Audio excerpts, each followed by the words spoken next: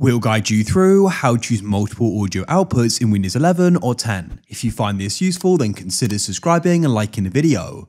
This is convenient if you've got multiple headphones or speakers you want to use. To get started, make sure you've got them connected. We are going to need to get an app, so open a web browser of your choice and you want to go and search for virtual audio cable, like so. Go and search for it and come to this site here go to the top and you can go and press download and we can go and get the exe. When you've downloaded it, find the installer and run it like any other and go and install it.